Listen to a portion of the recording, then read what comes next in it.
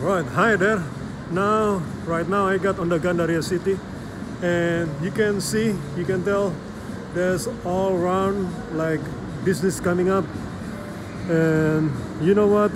I think for starting for this week, uh, Indonesia will be starting for the vaccine, the vaccine for free, uh, not for adult only, instead for the youngest right now. So I hope with this view of the Gandaria city with the crowded people, you can tell, you can tell,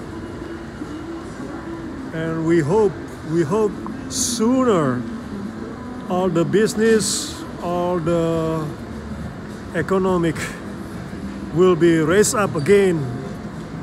And here we go. See you when I see you. Bye bye.